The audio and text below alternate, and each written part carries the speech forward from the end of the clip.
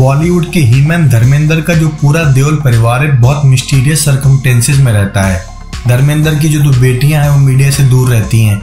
जबकि कहा जाता है वो एक्ट्रेस बनना चाहती थी, लेकिन सनी ने, धर्मेंद्र ने पूरी कोशिश करी फॉरेन में सेटल करने की। सनी देओल की जो वाइफ है, पूजा देओल, वो भी बहुत लंबी दूरी पर ब्रिटेन में रहती हैं और सनी देओल के साथ दूरी का रिश्ता रखती हैं। ऐसी धर्मेंद्र के स्टेज ब्रदर थे अजीत देओल, वो भी पंजाब इंडस्ट्री में चुपचाप काम करते रहे और बीमारी के बाद उनकी मौत हुई। उनका भी धर्मेंद्र वाला स्टार्डम नहीं आया और न ही बहुत ज़्यादा साथ देखे गए। इसके अलावा धर्मेंद्र का एक सौतेला परिवार है, जहाँ पर हेमा मालिनी से मैरिज हुई है, इस्लाम निकाह कबूल करके और उनकी दो बेटियाँ भी हैं, जो दोनों परिवारों के बीच में स्विच करती रहती हैं। इस सारी मिस्ट्री में एक चीज़ बहुत गौर करने वाली ये है कि हेमा मालिनी ने हमेशा से डिग्निटी वाला साइलेंस मेंटेन किया है। मीडिया को लगता है कि वो देओल परिवार से दूर रहती हैं न धर्मेंद्र से खुलेआम मिलती हैं, न उनकी पत्नी प्रकाश देओल से मिलती हैं, न ही धर्मेंद्र की माँ से मिलती होंगी और न ही उनके परिवार में जाती हैं। जबकि ऐसा नहीं है। इस परिवार की मिस्ट्री ये है कि सब कुछ चुपचाप होता रहता है, मीडिया की नज़रों से दूर। सनी देओल की बेटे की मैरिज में बहुत ज़्यादा सीक्रेसी मेंटेन की गई थी। तो बात करते हैं हेमा मालिनी की। हेमा मालिनी अपनी बुक्स यानी बियॉन्ड द ड्रीम गर्ल में बहुत सारे खुलासे करती हैं और बताती हैं देओल परिवार से उनके जो रिश्ते हैं उतने भी नेगेटिव नहीं है जितने मीडिया में रिपोर्ट किए जाते हैं। एक्चुअली हम ये जानते हैं कि सनी देओल हेमा मालिनी से नफरत करते हैं और दोनों परिवारों के बीच में अच्छी खासी दूरी है, जबकि ऐसा नहीं है।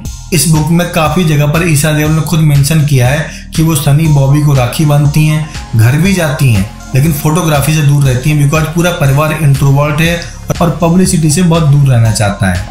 यहाँ तक कि हेमा मालिनी खुद कहती है कि वो धर्मेंद्र की माँ यानी अपनी सास से मिल चुकी हैं, वो भी प्रकाश देओल की मौजूदगी में। एक्चुअली प्रकाश देओल ने उनको अपने घर आने से मना किया था। इसलिए सनी देओल की जो दादी हैं, यानी धर्मेंद्र की जो माँ हैं, वो स्टूडियो में आकर हेमा मालिनी से मिली थी। उनको प्रॉपर आशीर्वाद दिया था। उसके बाद उनको दो बेटियाँ हुई। यानी सास के साथ भी अच्छी ट्यूनिंग रही है हेमा मालिनी की। इतना ही नहीं, जिस सौतेले बेटे से झगड़े की बात की जाती है, यानी सनी का, हेमा का जो छत्तीस का आंकड़ा बताया जाता है, वो भी काफ़ी मिस्टीरियसली झूठा है। बिकॉज़ बहुत सारी फ़ोटो ऐसी हैं, जहाँ पर वो दोनों एक साथ एक फ़ोटो में दिखाई देते हैं। या फिर धर्मेंद्र हेमा के साथ सनी देओल की वो फ़ोटो हो, जहाँ पर धर्मेंद्र हेमा की कजिन से मिल रहे हैं। यानी पूरा परिवार गुपचुप तरीके से मिलता है और सगे सौतेले के फ़र्क को मिटाता है, जो कि एक अच्छे परिवार की यूनिटी का सबूत है। मीडिया को लगता है निगेटिविटी फैलाना, परिवार के बीच में खाई पैदा करना, जबकि देवल परिवार एकजुट रहता है। हालाँकि कभी इतना मुखर नहीं हुआ जितना वो गदर टू के बाद हो रहा है। गदर टू के बाद तो सनी बॉबी में भी हिम्मत आ गई।